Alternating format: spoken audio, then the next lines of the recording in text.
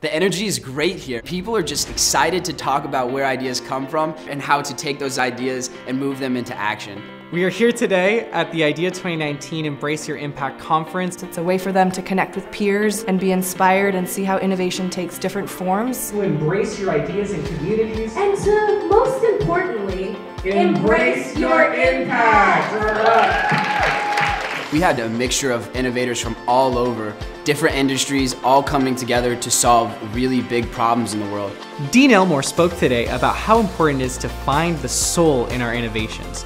We put a whole lot of stock in stats and numbers, figures, dollars, cents. And I'm saying, look today for reprioritizing that a little bit. Soul reprioritizes and says the facts and the people have to be the more important thing.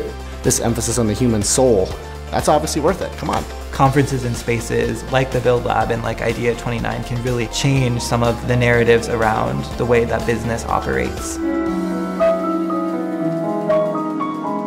For those of you who are looking for more inspiration, we encourage you to head upstairs. They'll show you how to map out your idea to make sure that you're headed in the right direction.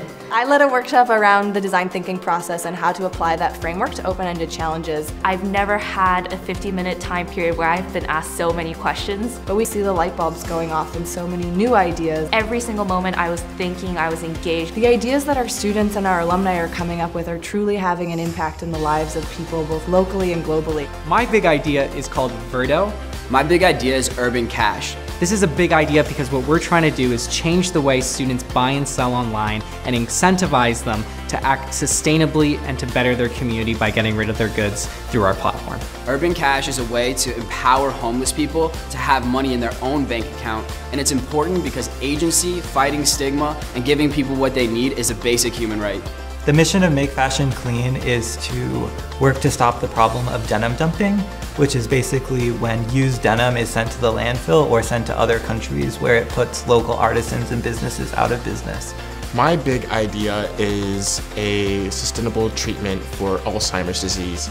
The mission of Ability Stands is to disrupt antiquated ableist beliefs and disseminate the value of inclusion through dance. If we really want to move the margin into a better world, we need to start understanding the people that are the most disadvantaged of those things. This experience has really opened my eyes towards things like ethics, things like communication, team building. And that's how you really innovate. I think the impact and the seeds of inspiration that they planted today will grow into very, very, very lush forests, and I'm so excited for all the work that the students are going to make. So it's definitely changed the way I approach my own personal creativity and innovation practice. Don't be afraid to take a chance. It's also an opportunity to get involved with the school because Build Lab is amazing. Definitely check out the Build Lab. It's right on the corner of Comm Ave and St. Mary's. It is the hub of entrepreneurship and innovation on campus. It's not just limited towards professionals. People should definitely come to the conference next year. This conference is for you. We're here to help you and support you, and I can't wait to find out what new ideas spring up at IDEAcon 2020.